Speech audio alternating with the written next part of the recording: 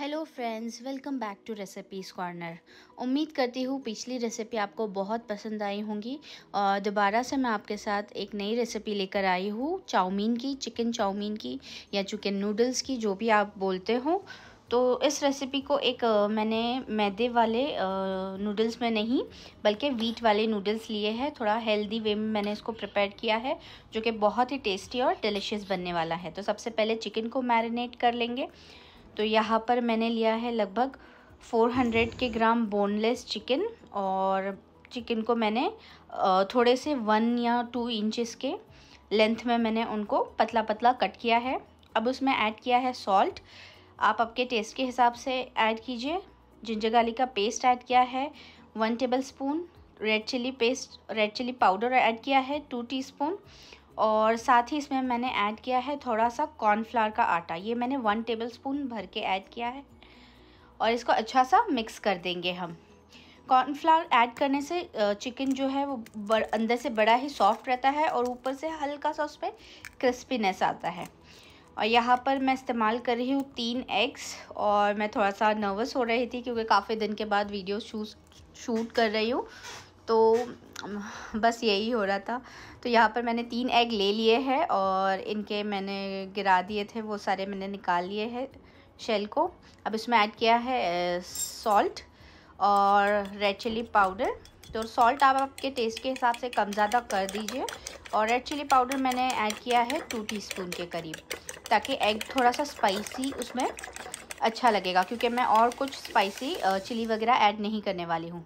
तो यहाँ पर एक मैं सॉस प्रिपेयर कर रही हूँ, जिसके लिए लिया है मैंने थ्री टेबल स्पून के करीब चिली सॉस ठीक है, अब इसी सॉस में मैं ऐड कर दूँगी सोया सॉस को, और सोया सॉस ले लूँगी मैं दो टेबल स्पून के करीब। ठीक है, और ये जो मेज़रमेंट है वो दो पैकेट वाले नूडल्स के लिए परफेक्ट है। और इसमें अब मैं तीन tablespoon Schezwan chutney add कर रही हूँ और साथ ही मैंने ऐड किया है इसमें वेनेगर तो इसको अब अच्छा सा मिक्स कर देंगे. वेनेगर जो है वो मैंने वन टेबल स्पून के करीब ऐड किया है. क्योंकि सारे जो केचप्स और सॉसेस हम ऐड करते हैं वो भी थोड़े से खट्टे होते ही है तो हम थोड़ा कम ही ऐड करेंगे.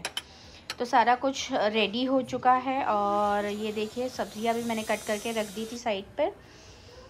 सब्ज़ियाँ मैंने ली है कैबेज कैप्सिकम और गाजर और ऑनियन ठीक है, आप आपकी मर्ज़ी के हिसाब से इसमें ऐड ऑन या कम ज़्यादा कर सकते हो।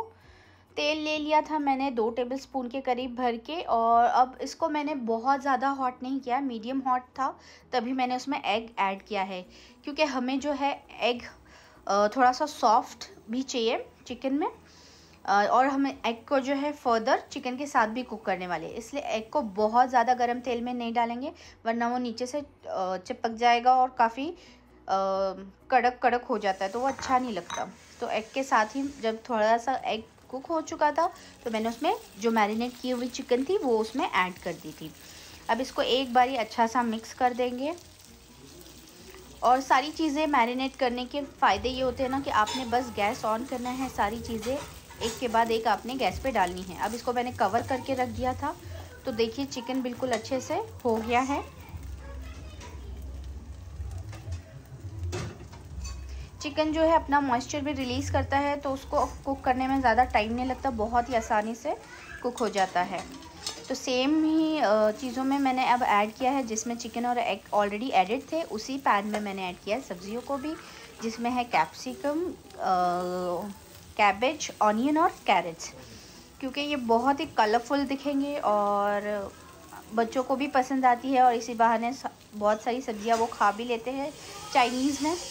तो इसको बिल्कुल अच्छी तरीके से मिक्स कर देना है हमने. और इस वक्त पे हमने फ्लेम को हाई रखना है क्योंकि सब्जियों को हम, हमने पकाना नहीं है, बस उनको हल्का सा सॉटे करना है कुक करना है. तो एक या दो मिनट के बाद ही मैंने इनको एक प्लेट में निकाल लिया था.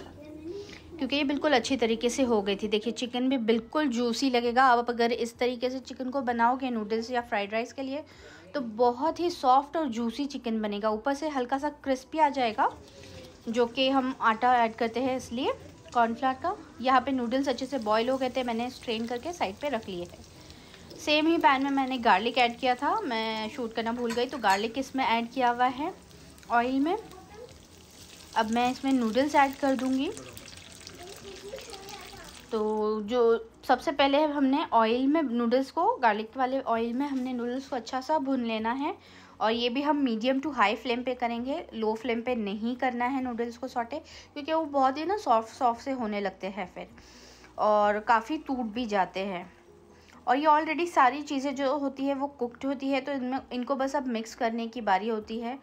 तो फाइनली इसको हमने मीडियम टू हाई फ्लेम पे ही सॉटे कर लेना है। जब ये अच्छा सा हो जाएगा तो हमने जो सॉस प्रिपेयर की है वो हम इसमें ऐड कर देंगे और दोबारा से इसको आ, हल्के हाथों से अच्छे से मिक्स कर देंगे। ठीक है? उम्मीद करती हूँ आपको मेरी रेसिपी अच्छी लगी होगी और जिन्होंने भी मेरा वीडियो देखा है, उन सबको थैंक यू शुक्रिया। और जिन्होंने सब्सक्राइब किया है, उनको भी थैंक यू और और भी मेरे वीडियोस को शेयर करो सपोर्ट करो। और सब्सक्राइब कीजिए चैनल को अगर अभी तक नहीं किया है तो। नूडल्स अच्छे से हो गए थे हमारे तो मैंने अभी जो हमने जो मिक्सचर हमने रेडी किया था चिकन एग और सब्जियों वाला, वो हम इसमें ऐड कर देंगे और बिल्कुल ही हल्के हाथों से मिक्स करेंगे, क्योंकि ऑलरेडी सॉस वगैरह डालने से नूडल्स सॉफ्ट हो जाता है बट आपको मीडियम टू हाई फ्लेम पे इसको मिक्स करना है। क्योंकि ये सारी चीज़ें अभी ऑलरेडी कुकड है, मैंने बिल्कुल भी पकाना नहीं है कुक नहीं करना है, जो हमने लो फ्लेम रखनी है तो इसको मीडियम टू हाई पे ही आपने रखना है। फटाफट से मिक्स कर देना है और ऊपर से हम इसमें ऐड कर देंगे कैबेज और थोड़ा सा अनियन मैंने साइड पे रखा था स्लाइस किया हुआ तो मैंने इसमें ऐड किया है। क्योंकि हल्का सा क्रंचीनेस और बढ़ जाता है नूडल्स में। ये प्याज की पत्ती है। स्प्रिंग अनियन, इनको भी मैंने चॉप करके रखा था, ऐड कर दिया है अभी।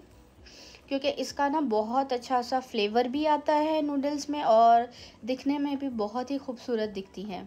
आप किसी भी डिश में ऐड कर दो मतलब बहुत ही अच्छा उसका लुक चेंज हो जाता है।